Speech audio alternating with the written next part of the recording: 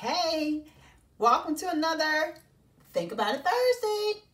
I am Kanya Ford, but you can simply call me Coach Kay, your certified clinical sexologist, also known as a life, love, and intimacy coach, where every single week I am going to bring you a new topic dealing with anything life, love, intimacy, and anything sprinkled in between. Now, before we get into this week's topics, I want to make sure that you are subscribed to the page and that you've turned the notifications on so you don't miss a single premiere weekly chat. If there's ever a topic that you want to hear more about, drop it in the comments or simply communicate with me directly and I'll make sure I get that on. You see, these little flybys be driving me crazy, y'all. Sorry about that. Um, this week I think is a more of a serious topic, and it's one that I continuously do here at home. Um, as some of you may know, you may not know, I am a mother of five. The children's age range from nine years old to 21 years old. Yes, almost 22.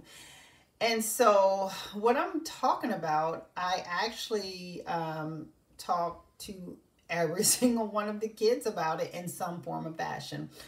And so this week's topic is age appropriate sex talks with your children. Yep, I said it, and it's necessary. Automatically, when people hear the word sex, mind goes directly to a physical act of two people engaging in intercourse.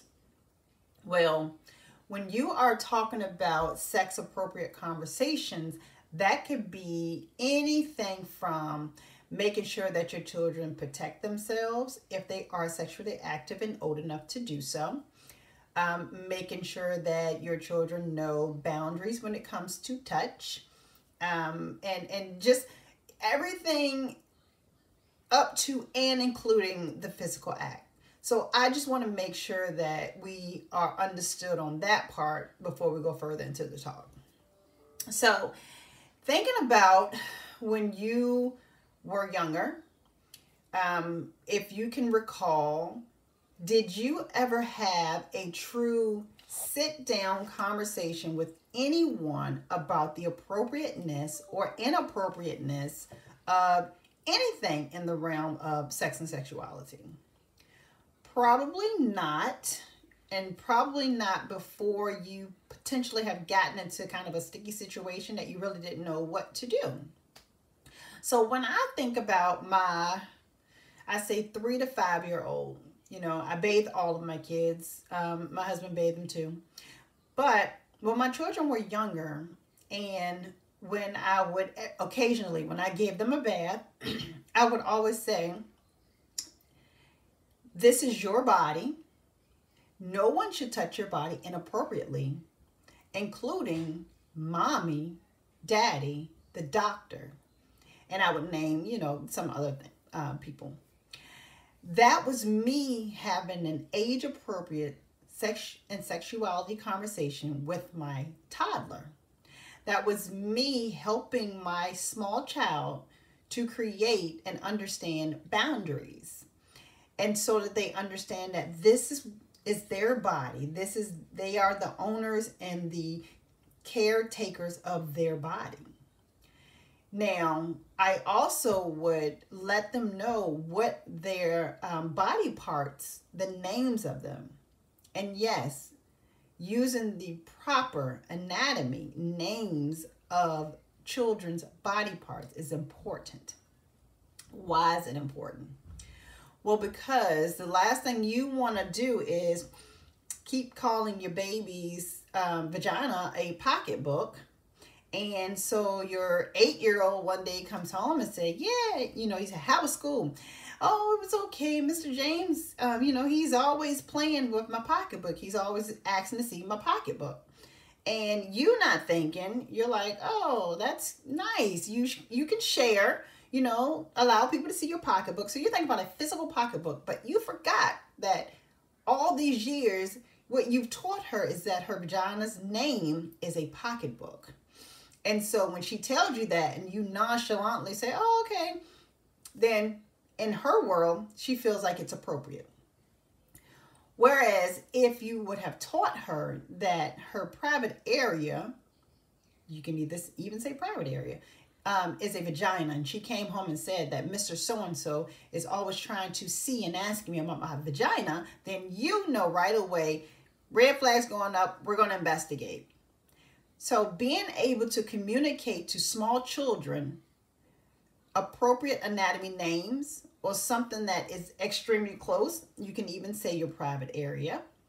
Um, it's important to do that being able to teach children at an early age that this is their body and they have boundaries and people should not touch it inappropriately. Even my pediatrician, when my pediatrician would examine the children, they would say, Now you know that me touching you right now is an examination and that no one should touch you inappropriately outside of the comfort of your parent who is sitting there or of you if they make you feel uncomfortable. So even that pediatrician is instilling in the children at a young age that no one should be touching them in a way that makes them feel uncomfortable.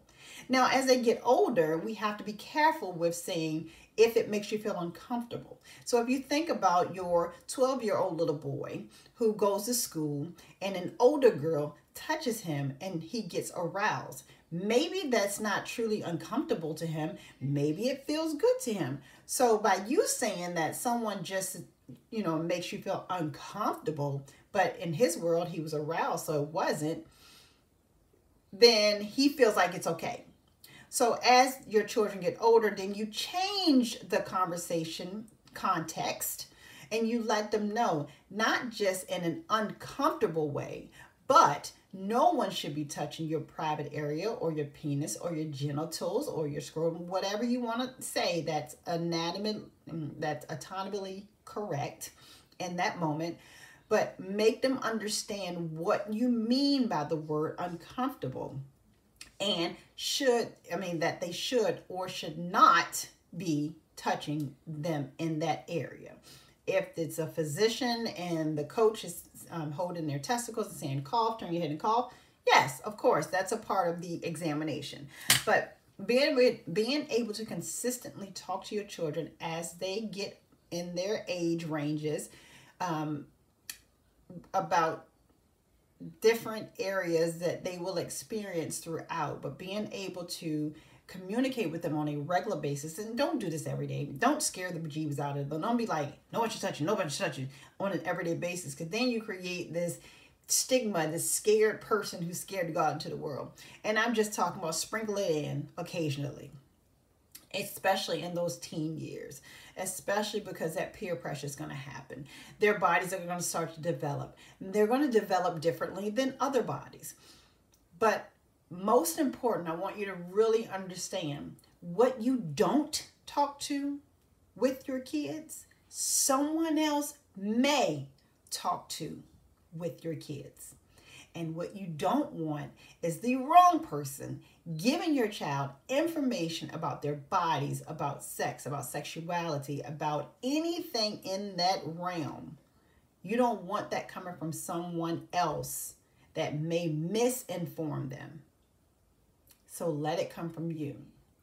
Also, by you opening up those lines of communication, then your child is more likely to come to you when something is inappropriate or not right. So, people, please talk to your children.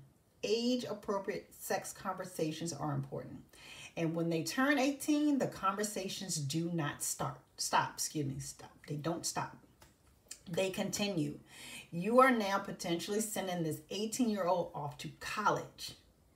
They need those conversations more than ever. The peer pressure is different. They're grown. They feel like they should be able to say yes. Even though they want to say no, they feel guilty for saying no, and they end up in situations that can be harmful. So please, parents, continue to have age appropriate sex conversations with your children throughout. If for whatever reason you're not comfortable doing so, you can reach out to someone who is in that profession. Hey, here I am. That can help you start that conversation, sit in with you, with your child to have those conversations. Or if you'd like, start those conversations for you and encourage your child to come and talk to you. So please feel free anytime to reach out if you want to just jump on a quick discovery call. I actually on my website have a section for adolescents so you can kind of read through that and we can get some conversation started with your children. So you can reach out to me anytime by going to loveandintimacy101.com. You can email me at info at loveandintimacy101.com or you can just give me a call or text at 804 967 4551. Again, if you haven't already, make sure that you're subscribed to this page so you don't miss any of my weekly topics because they're pretty good and they're very informative. So, subscribe to the page, turn those notifications on, leave comments below, let me know what you want to hear and if this was helpful because I, I definitely want to know that. And if you need any help talking with your child, or getting through to them, feel free to reach out. This has been Coach Kay with another Think About It Thursday, and I will see you next week.